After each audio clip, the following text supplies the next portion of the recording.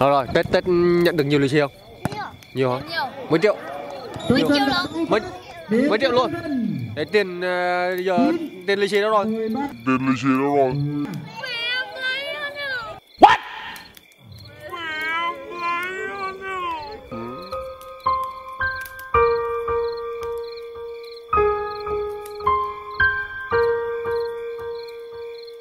nhỉ?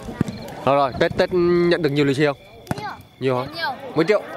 Mấy triệu lắm. Mấy mấy triệu luôn. Đấy tiền ờ, giờ tiền lì xì đâu rồi? Tiền lì xì đâu rồi?